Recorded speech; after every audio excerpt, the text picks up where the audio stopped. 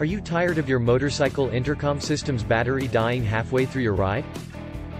Well, in this video, we're going to share some tips on how to extend the battery life of your motorcycle intercom system and keep you connected with your riding partner all day long. Tip number 1. Turn off unused features. To maximize your intercom system's battery life, you can start by turning off any unused features such as the FM radio or Bluetooth connection when not in use. These features drain the battery faster, even if they are not in use. By turning them off, you can significantly increase your intercom system's battery life.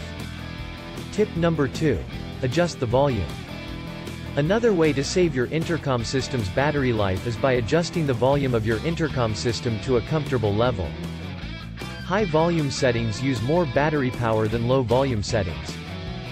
So, reducing the volume can help you conserve the battery life of your intercom system. Tip number 3.